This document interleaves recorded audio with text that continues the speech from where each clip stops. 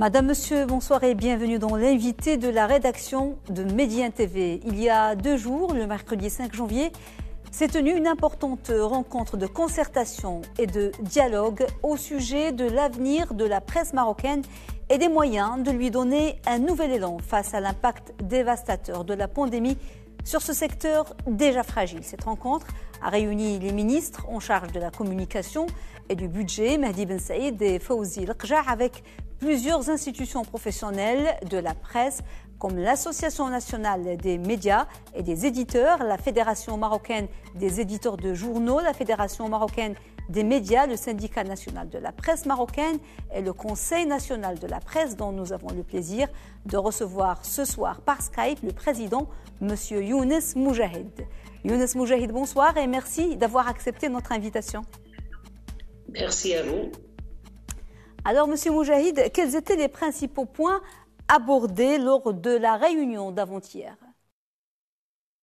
La réunion, c'était pour euh, voir où on est, parce que, comme vous le savez très bien, il y a une crise euh, dans le secteur de la presse, que ce soit papier et aussi électronique. Alors, c'était une, une, rencontre pour évaluer euh, la situation en présence des euh, des organisations euh, qui travaillent dans le secteur, en présence des, éditeurs, des, représentants de syndicats, du Conseil national de la presse, mais aussi en présence euh, des deux ministres qui ont participé à cette rencontre. Et la deuxième, le deuxième volet, c'était quelles sont les solutions qu'on doit adopter ensemble, comment on doit travailler ensemble pour, entre guillemets, conserver ce patrimoine et pour sauver euh, la presse euh, papier, la presse électronique, parce que les deux sont en crise. Alors, dans leur déclaration, Younes Moujahid, aux médias, les deux ministres ont promis un soutien de l'État pour que le secteur s'éloigne de la précarité et puisse se restructurer, se professionnaliser davantage. Comment ce soutien va-t-il se décliner? La question a-t-elle déjà été tranchée? Premièrement, avant de,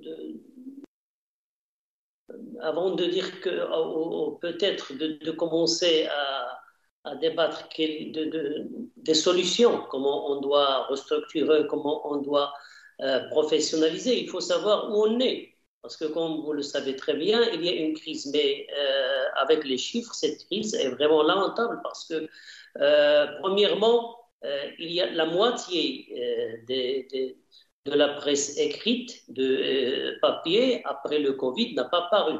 Euh, la majorité sont disparus et aussi, il y a, ont disparu, mais aussi il y a ceux qui sont maintenant sur PDF gratuitement. Euh, une petite partie qui est payante. Et la deuxième chose, c'est qu'on a perdu plus de 50% des, du budget de la publicité. Euh, pour la presse papier et aussi pour la presse électronique, parce que on croyait que la presse électronique va être l'alternative. C'est pas vrai, parce qu'elle est aussi en crise. Euh, une grande majorité de cette pub, elle est, destinée aux GAFAM, ça veut dire euh, les, les, grandes plateformes au niveau international, Google, Facebook, etc. Et la presse écrite n'a reçu, la presse papier n'a reçu que 9% du budget global de la publicité. Maintenant, on est pour les ventes de, du presse, la presse papier, on est, pour les journaux, on est à euh, entre 35 000, 38 000 par jour, sachant que c'est un pays qui a plus de 35 millions d'habitants, etc. Ça, c'est une, c'est une crise. Pour la presse électronique aussi, il est en crise. Premièrement, parce qu'il y a le problème de la publicité, mais pour les deux, les deux euh, secteurs, la presse, papier et presse électronique, il y a un problème structurel. Ça veut dire que ce n'est pas une crise qui est survenue parce qu'il y a euh, le Covid. Oui, ça c'est vrai, parce qu'il y a aussi la grande, euh, maintenant le, grand défi des réseaux sociaux et de, l'Internet, c'est vrai, mais il y a des, problèmes qui sont vraiment structurels et qui émanent de la structure même de l'entreprise de presse. Et là aussi, on a des chiffres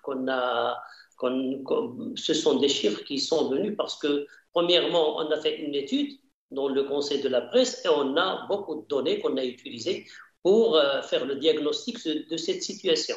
J'allais venir justement, Monsieur Moujahid, vous avez euh, le Conseil euh, national de la presse a publié justement un rapport sur la presse marocaine et les impacts de la pandémie. C'est le deuxième en presque six mois. Le premier était euh, aussi sur la presse, mais là c'est sur l'impact. Et le constat, comme vous venez de le dire, est implacable. L'existence même et la pérennité du secteur de la presse écrite est menacée. Comment a été élaborée cette étude justement? Quelle méthodologie avez-vous adoptée? Vous avez dit ce qui en ressort. Il y a la baisse vertigineuse des ventes de la presse papier, plus de 70%, la chute de la publicité, près de 60%, la presse électronique qui n'est pas mieux lotie, il y a le problème des GAFA. Euh, donc euh, c'est vraiment un problème euh, structurel. Dans ce, rapport, le Conseil a aussi abordé la question de la subvention publique exceptionnelle allouée à la presse marocaine, une enveloppe, corrigez-moi si je me trompe, je vous prie, Simjahed, de près de 40 millions de dirhams. Euh, comment évaluez-vous les critères d'octroi de cette subvention? Ont-elles été équitables et est-ce qu'elle a réussi à aider un petit peu ces entreprises de presse à se maintenir en vie en tout cas? Non, le budget, ça dépend. Le budget pour, pour la subvention, c'était un peu plus que cela. Euh, il, dépasse les 200 millions. Euh, et aussi, si on inclut les radios privées, euh, ce qui a été aussi octroyé aux, aux imprimeurs et au secteur de, de la distribution, c'était une bouffée d'oxygène très importante. Et là, on salue le gouvernement parce qu'il a fait un grand effort pour sauver la presse parce qu'elle était en crise. ça, c'est très important. Mais la subvention, euh, c'est pas la solution finale, c'est provisoire, c'est une solution qui était immédiate, urgente, et ça c'est vrai, c'était, elle était bénéfique, mais il faut voir un peu ailleurs, ça veut dire c'est pour le, le, le futur de, de, cette presse. Et nous, on a travaillé sur cette question.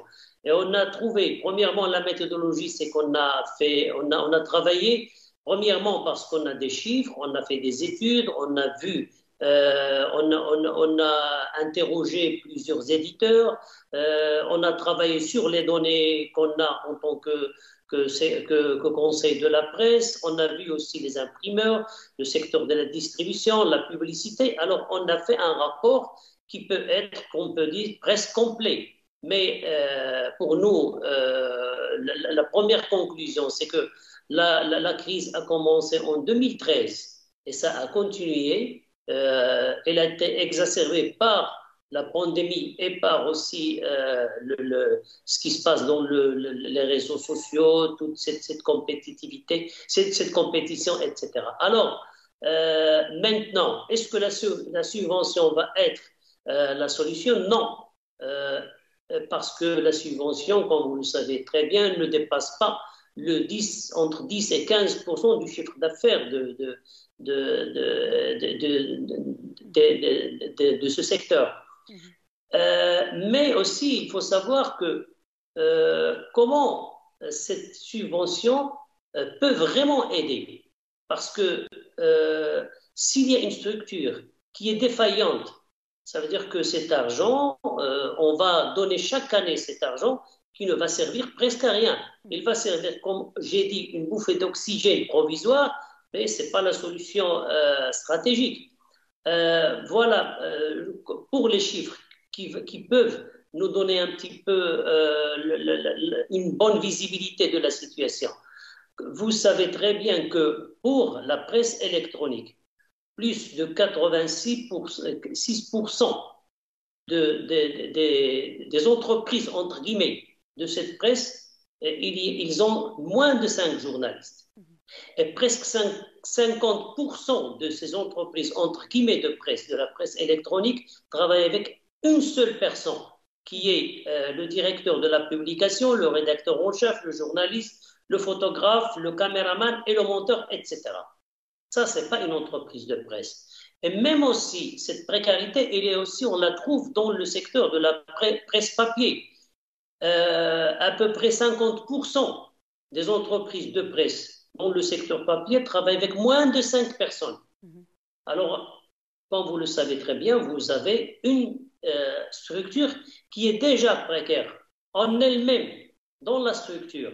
Alors, si on veut réformer ce secteur, il faut commencer par, le, par, ce, par, cette crise de, structurelle. Et euh, pour nous, ce qu'il faut réformer, c'est un peu euh, toute la vision. Qu'est-ce que ça veut dire une industrie euh, de la presse et des, médias au Maroc? Est-ce qu'on a vraiment des entreprises qui peuvent continuer à travailler comme ça? Est-ce qu'ils sont compétitifs au niveau régional, au niveau international? Est-ce qu'ils peuvent vraiment donner à la société, répondre aux besoins de la société?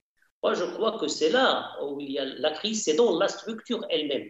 Alors, si on commence à travailler sur euh, le, ça veut dire la, gestion, le, euh, le, management de cette entreprise, comment ils sont organisés à l'intérieur, etc., on trouvera qu'il y a beaucoup de choses, comme on dit, à, à désirer. Ça veut dire que euh, dans des autres secteurs, pas dans tous. On sait très bien au Maroc, il y a des entreprises qui travaillent un peu comme ça d'une manière entre guillemets traditionnelle. Mhm. Mais dans ce secteur, c'est très difficile de dire qu'on va travailler de cette manière un peu euh, traditionnelle. Il faut rénover, il faut avoir des entreprises qui sont vraiment des entreprises qui peuvent être compétitives.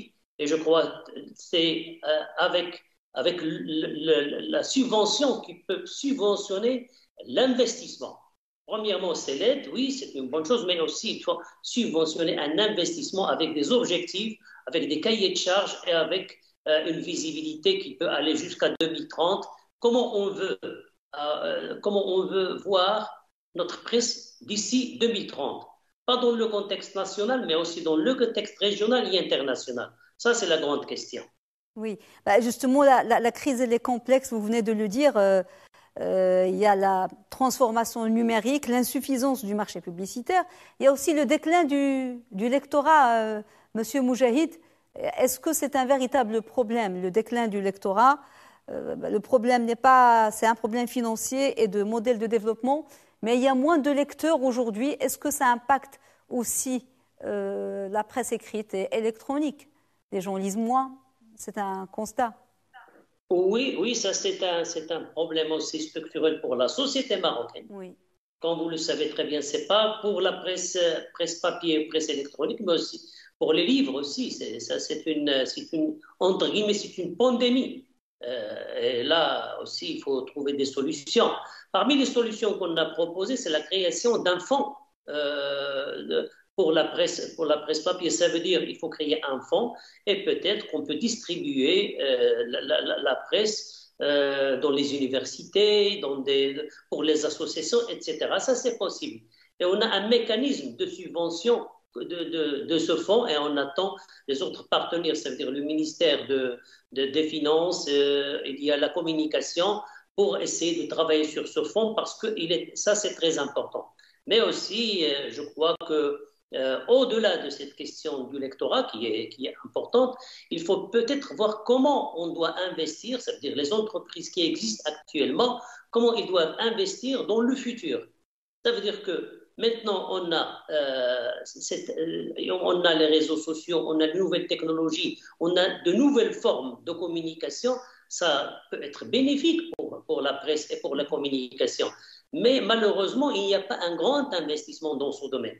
Ça veut dire que vous avez des grandes entreprises de la presse écrite qui travaillent plus ou moins dans le secteur euh, de la presse électronique, mais euh, pas euh, suffisamment. Moi, je crois que, premièrement, ça, c'est la grande, c'est parmi les, les, les, solutions, parmi les alternatives.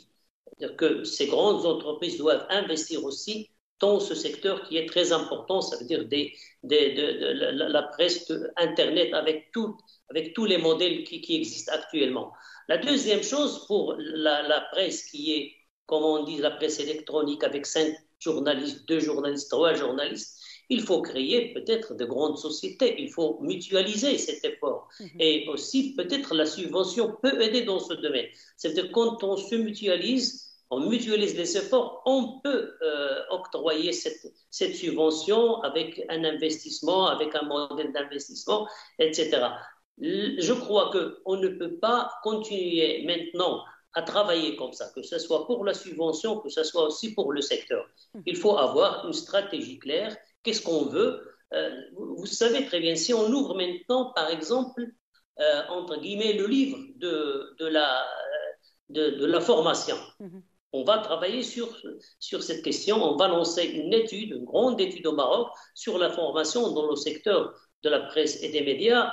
Euh, on a vraiment un vrai problème et un grand problème parce qu'on a des, maintenant, à part l'ISI, qui est l'Institut supérieur du journalisme, qui est public, il y a euh, peut-être des professeurs qui ont des possibilités de, de donner une bonne formation, mais euh, il y a maintenant des dizaines d'écoles au Maroc privées euh, comme vous le savez très bien, il n'y a même pas de professeurs qualifiés. Mhm. Alors, euh, si vous voulez avoir un secteur prospère, un secteur compétitif, un secteur qui peut répondre aux besoins de la société, aux besoins du Maroc, parce que le Maroc a un défi maintenant, de grands défis au niveau de la communication, que ce soit régional ou international, il faut avoir aussi les ressources humaines qui peuvent travailler, qui, qui seront bien formées, etc. Moi, je crois que c'est parmi les grandes questions de tout le secteur, c'est le ressources humaines. Est-ce qu'on a une stratégie pour le ressources humaines Je crois qu'il n'y a pas de stratégie. Euh, dans la formation, mais aussi dans tout le secteur, c'est rarement vous trouvez une entreprise de presse, euh, papier ou électronique qui a euh, peut-être une administration. Mm-hmm. Mhm. Qui travaillent sur les ressources humaines, qui connaissent les profils des, journalistes, des techniciens, etc. Pas de formation continue. Je ne connais pas d'entreprises de presse qui ont un programme de formation continue. Mhm. Alors, si on va dans la convention collective, les droits, les salaires, etc., on a fait une étude là-dessus. Moi, je crois que c'est pour ça qu'on a dit c'est une crise euh, structurelle est vraiment structurelle. Oui, et la vision et la solution doivent être globales. Et euh, on a vu, euh, M. Moujahid, au lendemain de, enfin, pendant ces deux ans, beaucoup de, beaucoup de journaux, beaucoup de, ont disparu.